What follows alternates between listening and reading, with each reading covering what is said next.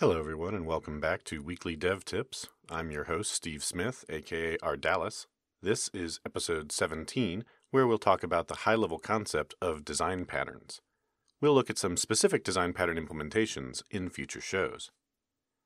Don't forget you can follow Weekly Dev Tips on Twitter as well as in your favorite podcast app. And if you're finding these tips to be helpful, please take a moment to leave a review on iTunes or Stitcher. I would really appreciate it. This episode is sponsored by DevIQ. DevIQ offers online training for software developers and designers covering topics like UX, .NET development, and ASP.NET Core. Check them out at deviq.com. This week we're going to talk about design patterns, which offer well-known, proven approaches to common problems or situations in software application development. I'll admit I've been a fan of design patterns for a long time.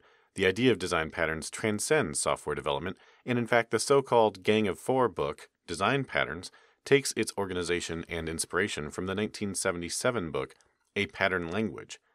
That book by Christopher Alexander describes common patterns in towns, buildings, and construction methods, but the idea that there are common patterns to solving similar problems applies equally to software as well as traditional building construction and architecture. One thing that I think really appeals to me about design patterns is their ability to reduce waste. As software developers, we tend to want to increase efficiency and productivity, and one of the most frustrating parts of writing software, for me at least, is when I'm stuck on a problem. This frustration is even greater when it's a problem I feel like I should know the answer to, or that I know is relatively common, so someone has solved it before. Design patterns are a great way to help you avoid reinventing the wheel, or in many cases, inventing a giant square that you are hoping will work as a wheel. Unfortunately, you can't always use your usual search engine skills to come up with a design pattern. You usually have to at least be aware that it exists so that you can start to recognize scenarios where it might apply, or so that you know its name and you can search for it. Once you know that a pattern exists and have at least a vague sense of when it might be used, then you can easily search for more information on how to apply the pattern when you think you might have a situation that warrants it. Thus, the first step in your path to pattern mastery is exposure. You need to spend at least a little bit of time learning the names of the patterns that exist and where they are used.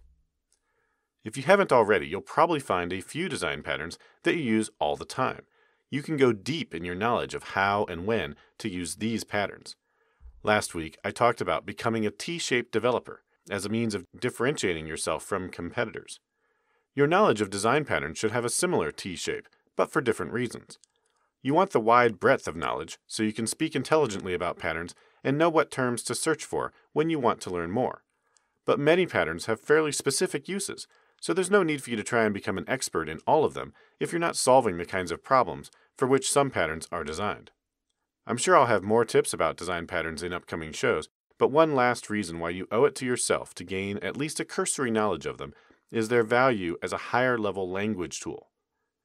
When you know a design pattern by name and how and why one would use it, you can discuss possible solutions with your team in a far more efficient and clear manner. The actual implementation of many patterns can involve several different types, organized in a particular fashion, usually with specific inheritance or composition relationships. How these types are used by your system is another aspect of the pattern's implementation.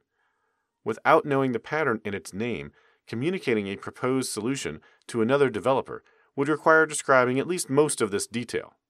However, if both developers are familiar with the pattern in question, one can simply say to the other, Have you thought about applying the XYZ pattern here? And they can convey the same intent with less chance of confusion and with far fewer words. If you'd like to learn more about design patterns and go deeper into how they are implemented, I recommend the Design Pattern Library on Pluralsight as a good place to start. You can also reach out to me if you think your team would benefit from a private workshop on design patterns.